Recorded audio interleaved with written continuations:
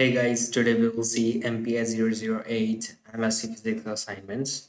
Today we will see write the space translation operator in quantum mechanics for an infinitesimal trans translation of uh, this is uh, along the y direction and along the z direction. Using the properties of space translation show that uh, this is equal to zero. So if you want the complete solutions of this assignment mps 008 okay and uh, if you want uh, complete all codes solutions of msc physics assignments so you can contact us on whatsapp at this uh, given number which is showing on a screen right here okay?